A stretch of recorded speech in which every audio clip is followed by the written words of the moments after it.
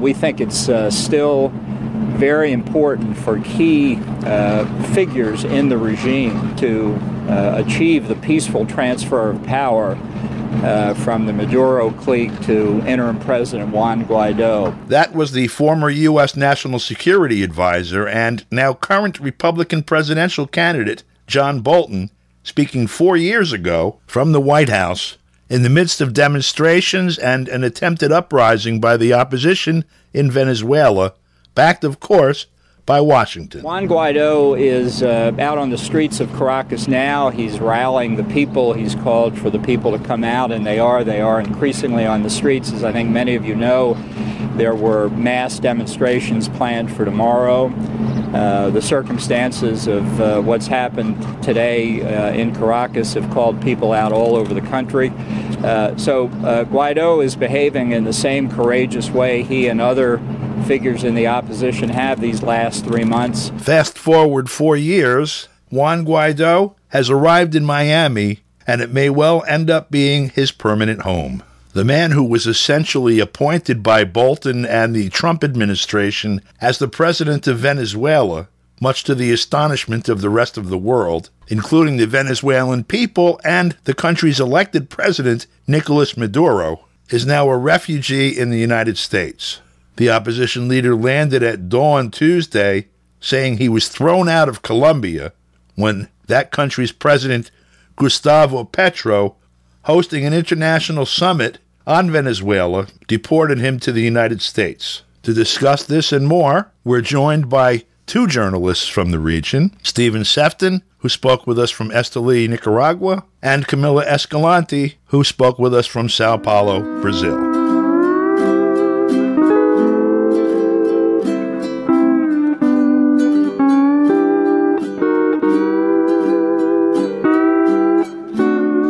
Okay, Stephen and Camila, I'm sorry. Uh, I couldn't resist. Let's start with this uh, summit in Colombia that had the high point of uh, liberating the people of Venezuela from a bad joke.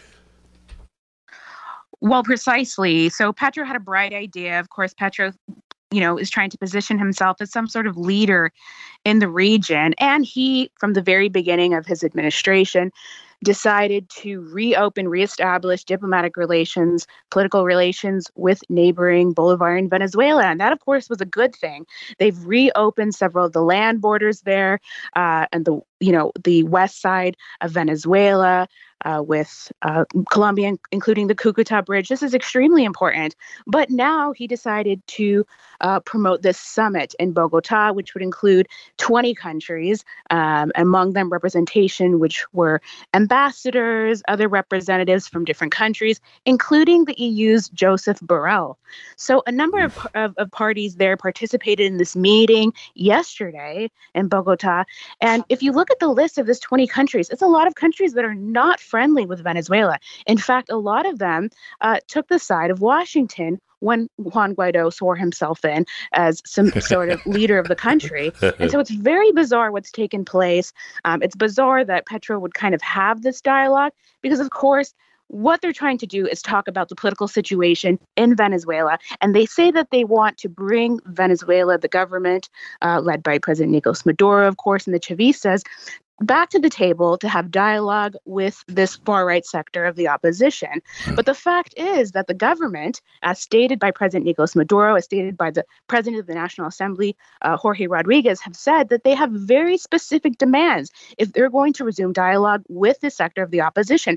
And those demands are first and foremost the lifting completely of all unilateral coercive measures, all sanctions illegally imposed on Venezuela, and also the freedom, the, the liberation of political prisoner in the United States, Alex Saab.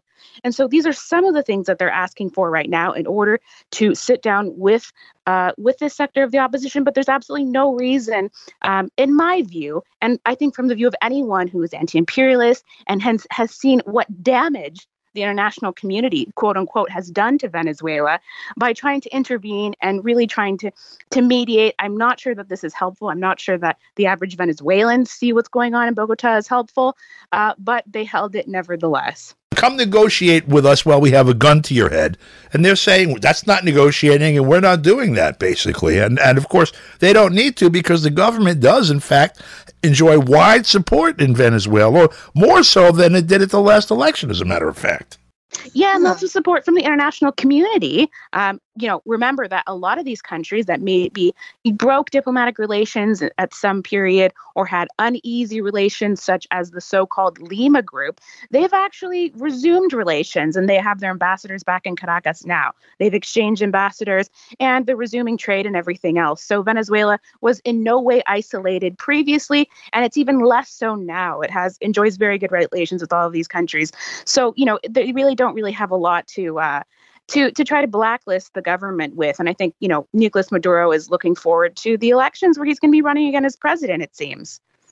Yeah, and one of the things to bear in mind is that the results of this um, summit that was organized by Gustavo Petro were very much along uh, classical um, center right social democrat lines, talking about the need for free and fair elections and so on. And they, they in, in effect, they set out although they didn't frame it as conditions, they set out kind of what they uh, propose as a series of uh, what they regard as reasonable requirements with which the Venezuelan government should comply in order for its demands, as the, Camila has just pointed out, principally the lifting of all sanctions, both by the United States and the European Union.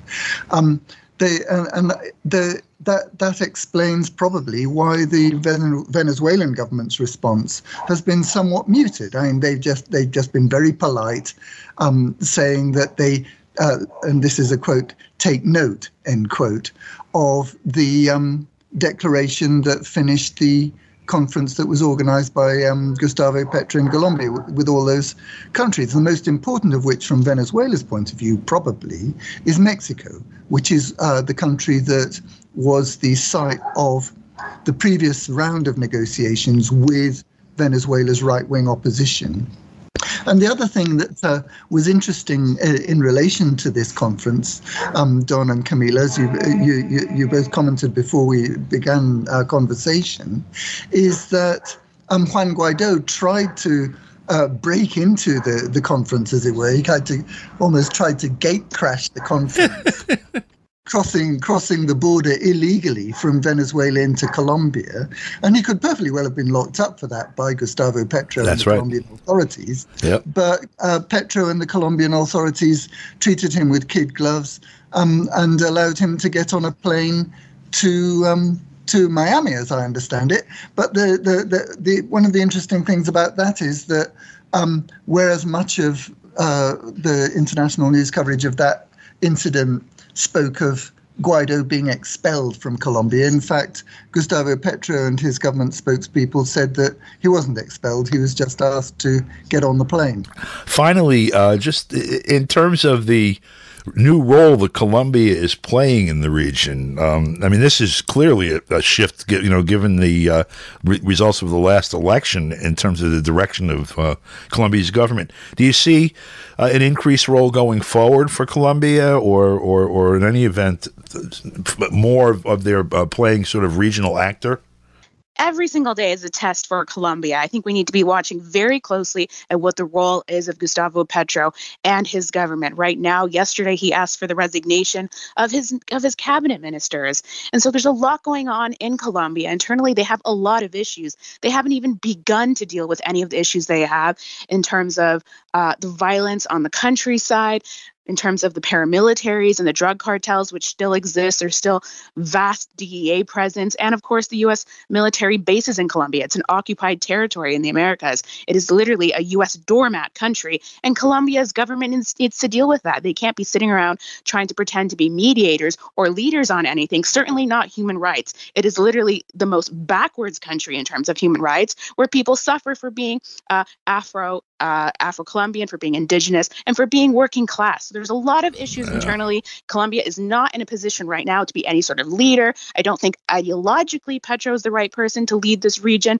And so I think that they really need to look internally, deal with their problems, and leave the leadership for other countries such as Nicaragua or Venezuela itself, which are really, you know, putting forth some very important proposals, both in terms of for what they're developing in their countries and externally for, you know, what they're proposing for a multipolar world.